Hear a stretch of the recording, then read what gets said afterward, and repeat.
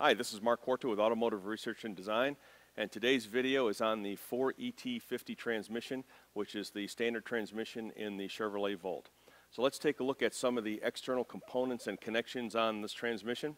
Uh, let's go around here to the front first.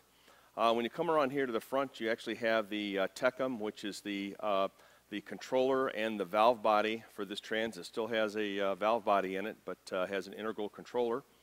When you come around to the backside over here, this is actually a connection for the drive motor resolver, and what the resolver does is it provides RPM input and direction uh, for the motor. And then we come around to this side over here, what we have are uh, some very large high voltage connections. Uh, the front connector here happens to go over to the uh, motor A, which is the generator on this transmission.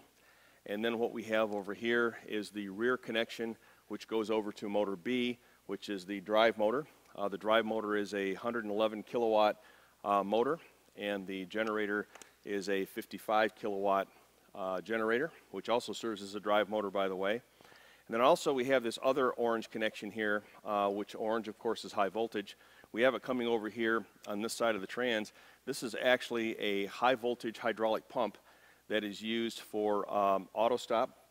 When we auto stop the engine, we still have to have pressure going inside the trans. Uh, this is a high voltage pump here, so it's also part of the high voltage system.